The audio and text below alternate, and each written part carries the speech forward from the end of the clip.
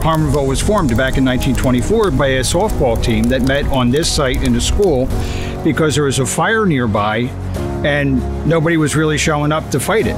The community got together and formed a firefighting family to take care of the community.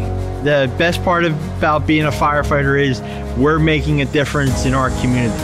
Being able to know that you help someone out is a feeling that you will never, ever outlive. Anybody can volunteer with Harmonville. We can use anybody for firefighting, fire police, administrative line. Uh, anybody just wants to come out and help out. We accept members starting at the age of 14. Uh, they're our junior members, and then at the age of 18, we accept them for contributing membership.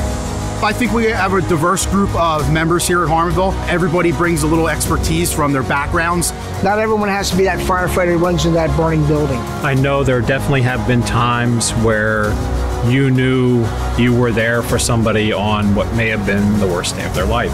Most people don't realize for every one person you put in that burning building, you need five people out there to support that one person. If you just want to help your community being part of something, I feel like the firehouse is a good opportunity for as a woman. You may not be able to pull the loads and throw the ladders and do everything that the men can do the way that they do it, but it's about knowing what you can do and knowing that you're better at certain things than they are. Fire company is all about balance and we all balance each other out. I joined and I was immediately part of the family. It was never a question or of whether or not I was going to be welcomed here. My family actually started in 1942 here with my grandfather, and my father joined my three brothers and myself.